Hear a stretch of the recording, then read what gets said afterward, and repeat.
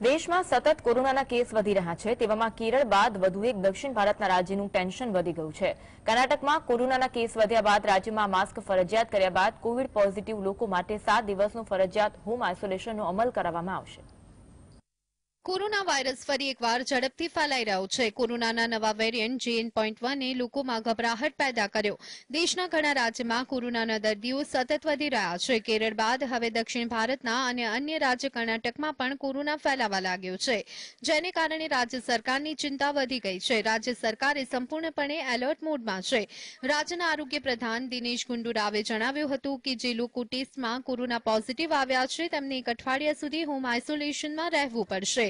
તેમણે જણાવ્યું કે હાલમાં રાજ્યની અંદર છત્રીસ લોકોમાં જીએન પોઈન્ટ વન વેરિયન્ટ મળી આવ્યો છે કર્ણાટકમાં કોરોનાના સક્રિય કેસ વધી અને ચારસો છત્રીસ થઈ ગયા છે જેમાંથી જેઓ પોઝિટિવ આવ્યા છે તેઓને ઘરે આઇસોલેટ કરવામાં આવ્યા છે but preferably the 60 plus they should compulsorily use the um, you know mask and things like that and also they should take care of themselves uh, there is nothing to alarm about you know this is a, a variant co- coming from omicron tn.1 which is not so uh, you know rigorous in its uh, uh, activity.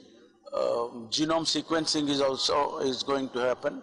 And all this uh, considering all this government will take steps uh, uh, from time to time રાજ્ય સરકારે કોરોનાગ્રસ્ત લોકોને ઓફિસમાંથી મુક્ત કરવાના આદેશ આપ્યા રાજ્યમાં corona સંક્રમણના કારણે અત્યાર સુધીમાં સાત લોકોના મોત થયા છે જેમાંથી ત્રણ લોકોના કોરોના જેન પોઈન્ટ વનનું નવું સ્વરૂપ જોવા મળ્યું હતું in the public places, in the malls, train, wherever it is, you should avoid crowd. And uh, strictly you should wear the mask and you should strictly maintain the social distance and you should take the medication as prescribed by a doctor. I think that should take care of everything.